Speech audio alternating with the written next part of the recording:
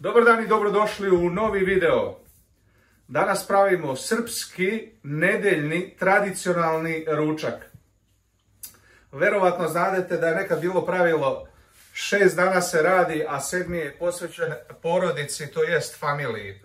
E, s obzirom da se nekad okupljalo, e, svi smo se okupljali za stolom, nije se razgovaralo o poslu, izbjegavalo se razgovarati o poslu, sad ću da probam da napravim jedan tradicionalni srpski nedeljni ručak.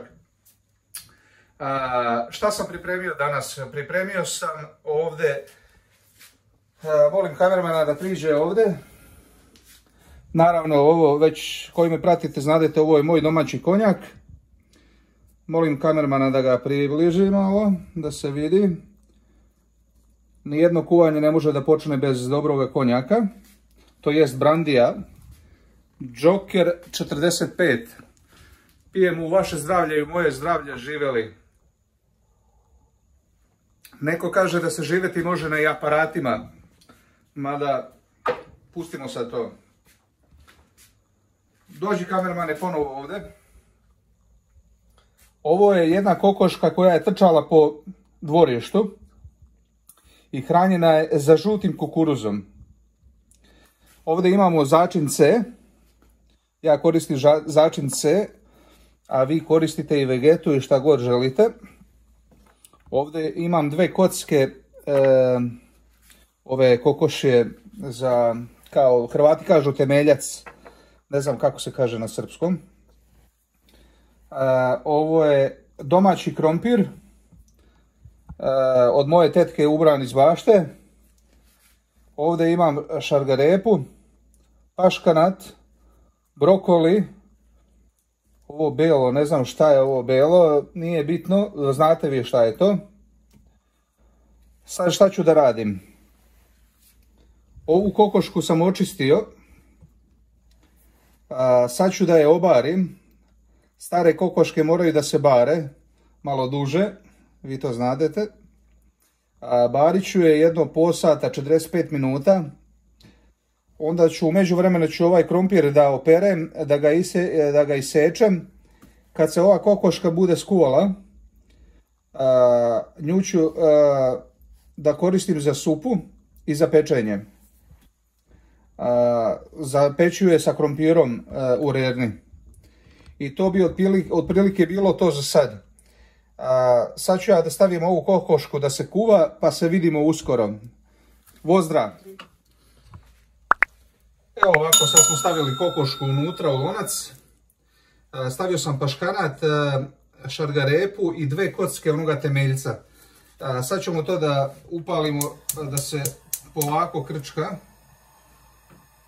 Jedno 45 minuta.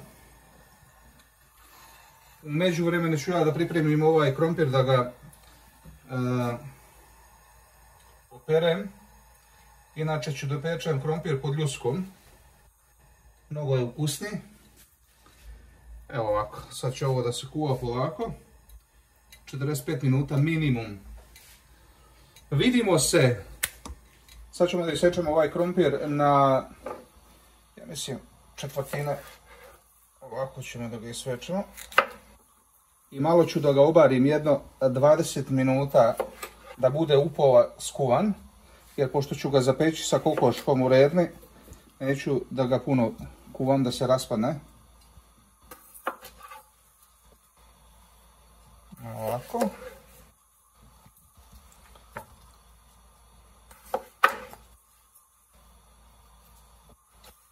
Da, da, da.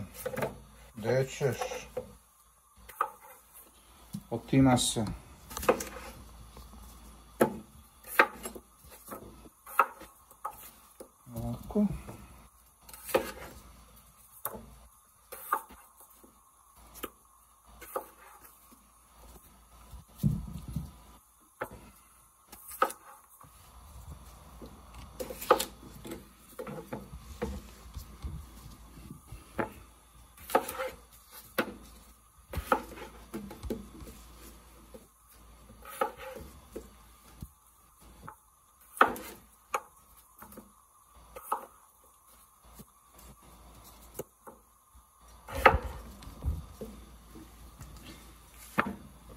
Znate onaj vic, e, kaže kako kuvara možeš da dobiješ u krevet.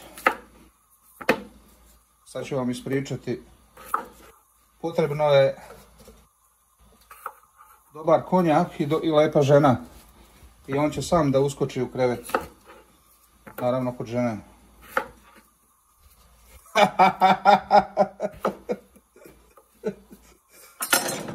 Evo ovako. Sad ću ja to da stavim da se da se brčka u. Ups. Mir, Sonja.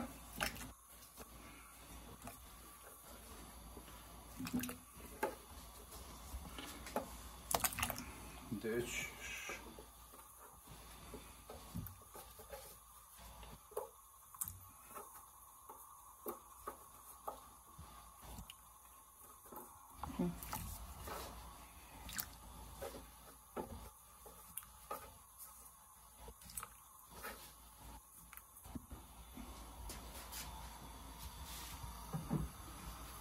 Evo ovako to izgleda u mojoj radinosti.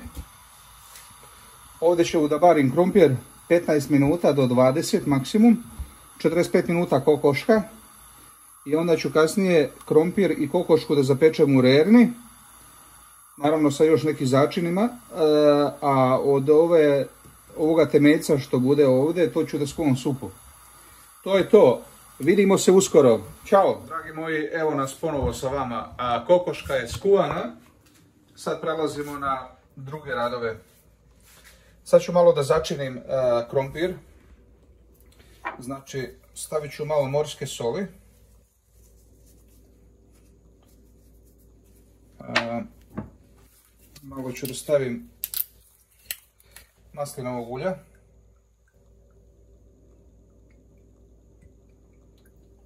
Sa maslinom uljem ne možete da preterujete, to znadete. Još ću malo da stavim soli.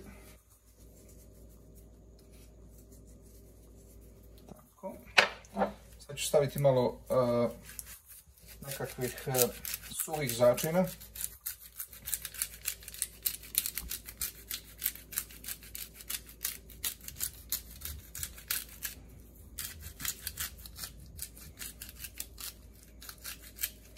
Ovako. Stavit ću malo bibera.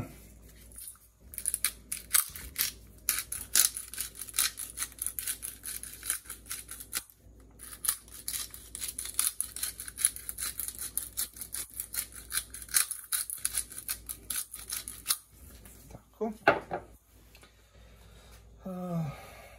malo ću staviti ovoga cezačina.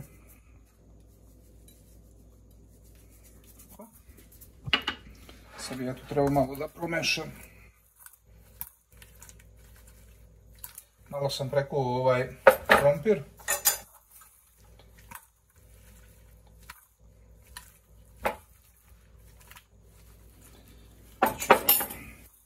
Još malo ulja da stavim.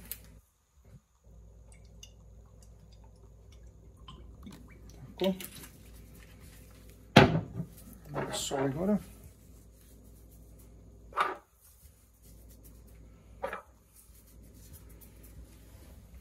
E sad, sad ću ovu kokošku da je malo nasolim unutra. Ups, ruča. Malo da je nasolim izvana.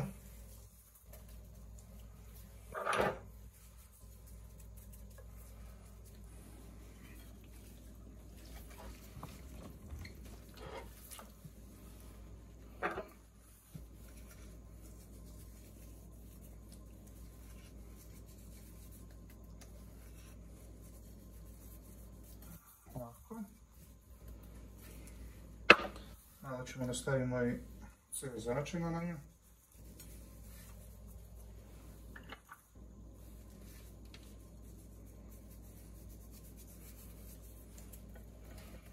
To je to. Sad ćemo da je stavimo na opačke ovako. Ovako. Stavim soli gore.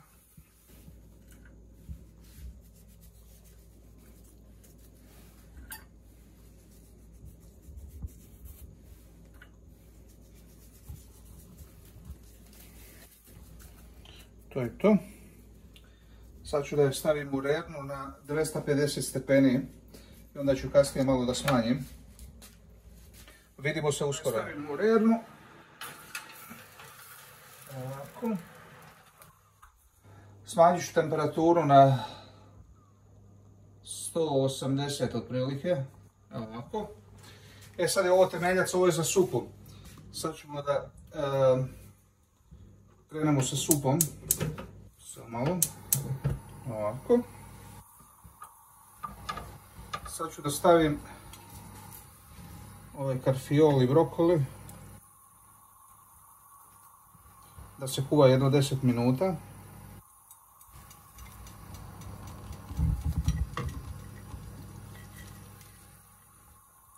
Ovo ne smije mnogo da se kuva pošto se ona raspadne. Znači samo malo da se obari i to je dovoljno. Jer moramo još da kuvamo i rezance. Ovo je sos od kokoške. Bacit ću jednu kašiku ovoga začina C unutra. Još malo. Kasnije ću dodati ako bude trebalo soli. I sad ćemo ovo da obarimo jedno desetak minuta i onda ću da stavim e, rezance. Vidimo se. Ćao. Dragi moji, e, sad sam e, otkrio da nemam dovoljno rezanaca u kući. Nema veze, ovaj, napravit ćemo knedle. Znači, sad ćemo da ulijemo jedno jajce. Ovako. Ćemo da ga umutimo.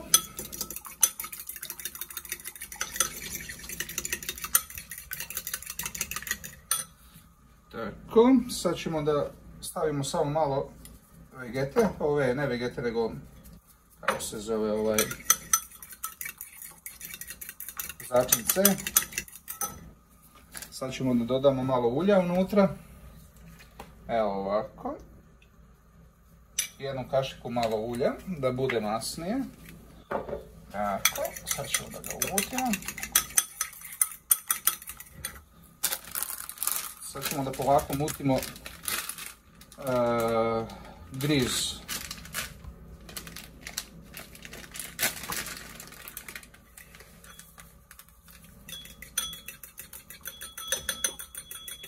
Sad ćete da naučite kako da pravite domaće knedle.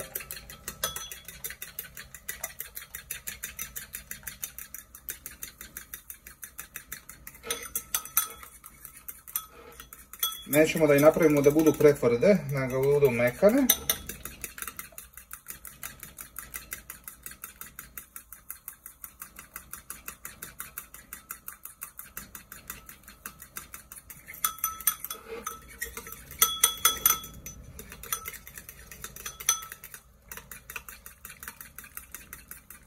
Još malo.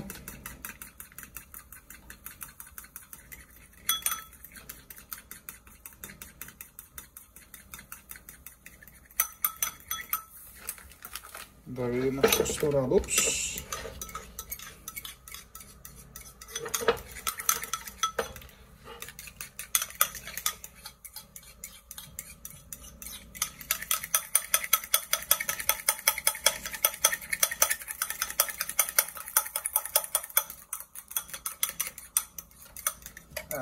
ovo će biti. Još ću malo samo da dodam. Evo, to je to. Evo Evo, sad ćemo da stavimo ove naše knedle u supicu. Znači, malo podmažemo kašiku. Ovako. Ovako.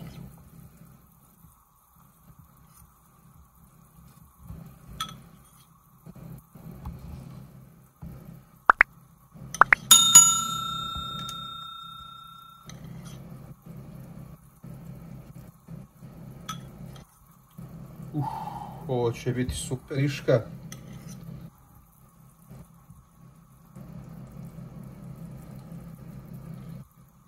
Ovako.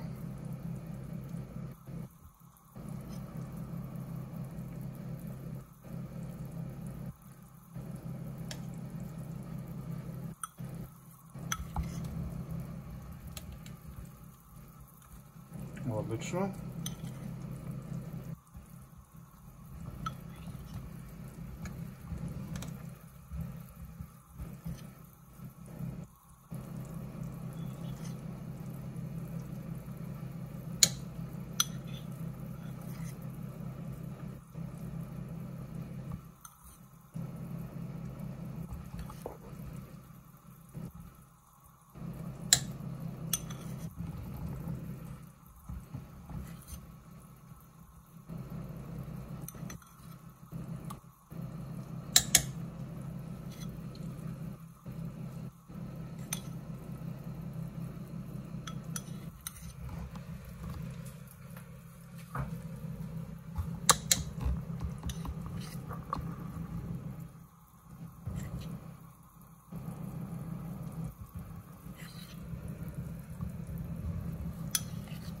Stavit ću sve pa kako bude.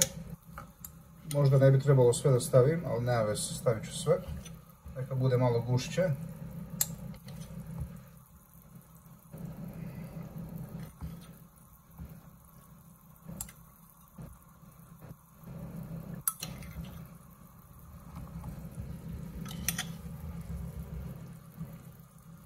E tako, sad ćemo ovo da kuvamo jedno desetak minuta još to je to, vidimo se.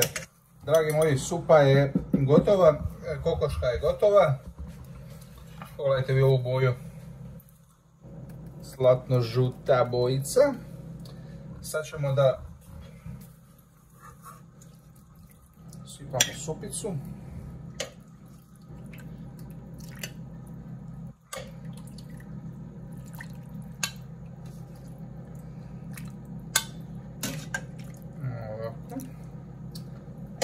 Supica.